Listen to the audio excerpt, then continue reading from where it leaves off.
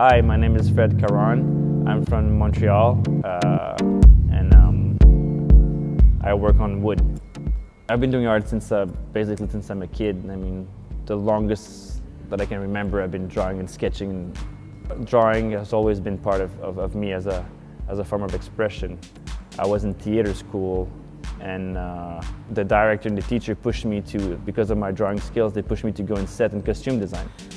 Street art, it wasn't called street art, but street art and graffiti always talked to me as, as something that was important for a city. It was making a city. You know, the, you know, there was the form of expression that the city was talk. You know, like even if you didn't know the artist, was always something that you could see everywhere.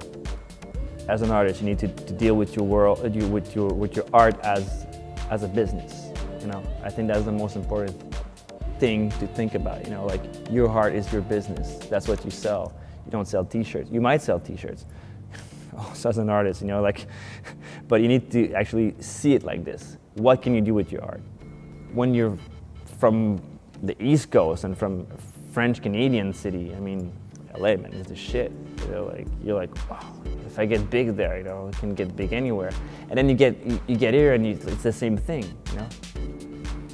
Anywhere you go, you'll, you'll have like a brother to go and sleep on this couch or on this floor. You know, there's always somebody to help you out. And, and in LA is the same.